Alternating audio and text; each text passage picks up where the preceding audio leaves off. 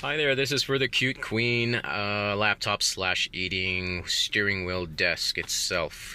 Uh, so as you can see here, it is attached to my steering wheel. For reference, uh, this is being used on a Subaru Legacy 2010. As you can see here, it's attached pretty solidly. Uh, one thing you need to be concerned about if you do want to consider this product is that the steering wheel cover uh, may or may not allow this to attach successfully uh, onto your steering wheel um, if it's too thick. Now mine, I do have a steering wheel cover as you can see. It is thin enough for it to attach to, but it was a very tight fit. I had to wiggle it in there, but it is working. It's pretty solid. Uh, so as you can see on this side of the desk, it's flat, has a little pen holder, which is used. It could be used for pretty much anything you want, but basically you can use it for doing productivity uh, situations like uh, putting a, using a laptop or your tablet, whatever.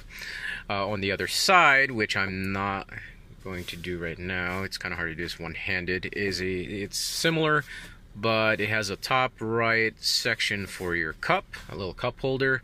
I don't find that to be pretty solid, so I did not like to use that. Uh, I have my drink here. I like to put the middle console here. I think it it's the best spot instead of that little cup holder on the desk. Uh, let's see what else.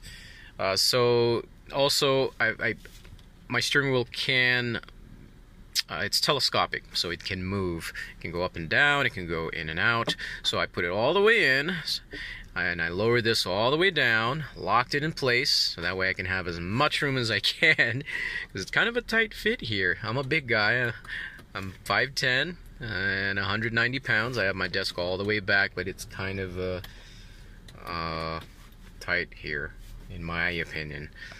Um, anyways, so if you have any questions or concerns or comments, uh, feel free to leave any comments in the review that's left on, uh, or for this review, I should say. Uh, but have a good one. Take care. Bye bye.